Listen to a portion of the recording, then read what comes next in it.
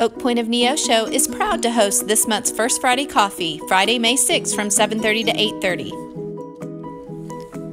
Sample a light breakfast and enjoy juice or coffee while you tour Neosho's newest beautiful new senior community.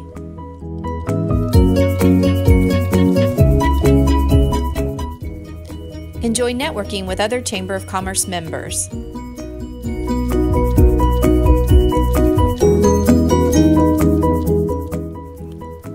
Make sure and bring your business cards to share with other chamber members and enter to win two tickets to Neosho Night at the Springfield Cardinals. The Neosho Area Chamber of Commerce and Oak Pointe of Neosho look forward to seeing you tomorrow, May 6th from 7:30 to 8:30 for First Friday Coffee.